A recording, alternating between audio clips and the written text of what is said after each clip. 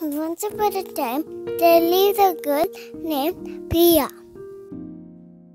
One day, she went to her friend's birthday party. She was dancing in the party. She can't find her earrings. Then she became sad. She started crying. She searched everywhere, but she can't find anywhere. Then, with faith, she started praying. She heard God's voice.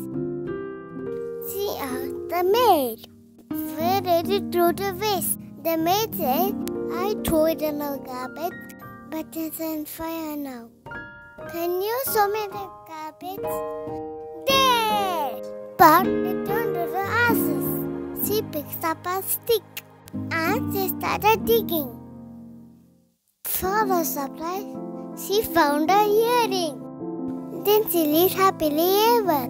That is the end of the story. Thank you.